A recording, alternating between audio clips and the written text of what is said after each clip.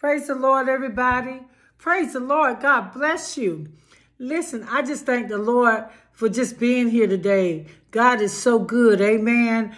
And I just had to get on today and talk to you a little bit about, you know, some of the questions that we ask God. Sometimes we ask God, why? Why did this happen? Why did that happen? Why is the coronavirus here? Why did we lose this loved one? Why? Why?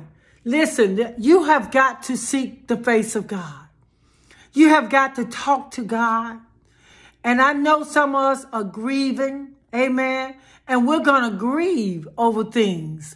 But I'm telling you right now, you have to get past this. You got to be strong in the Lord and in the power of his might.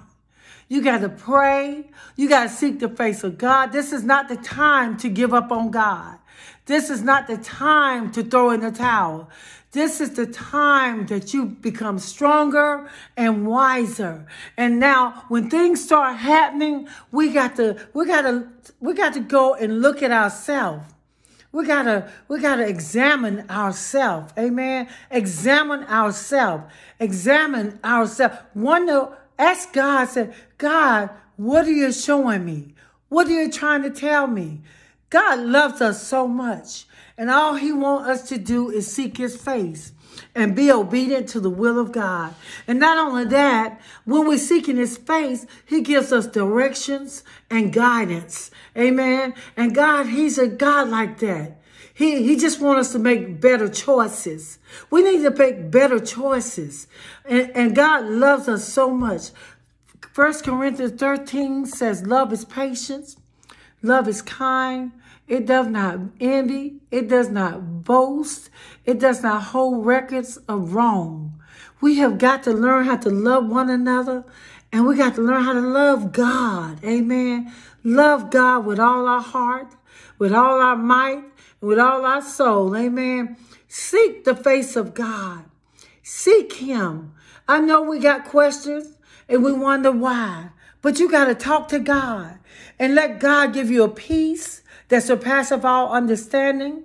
Peace like a river. Amen. God can give you peace even in the midst of the storm. Don't you want the peace of God to reign on your life? Amen. I just thank the Lord. He is so awesome. I just want to encourage someone today.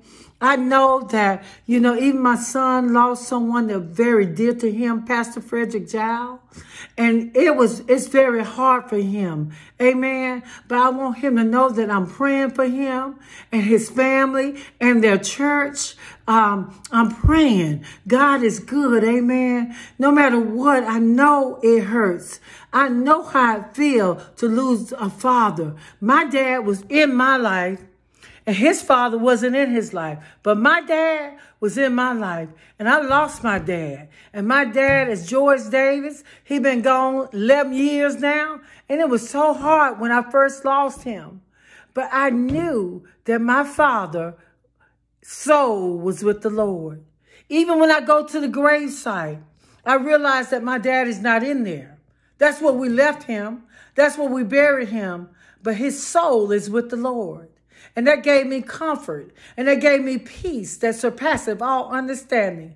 That gave me so much peace in my mind, peace in my spirit, peace deep down in my soul. I just thank the Lord. Amen. I just want to encourage you in the Lord because God is still good. No matter what we go through, He's still good.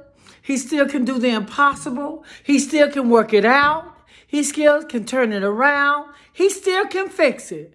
We serve a mighty good God. I love you and may God bless you.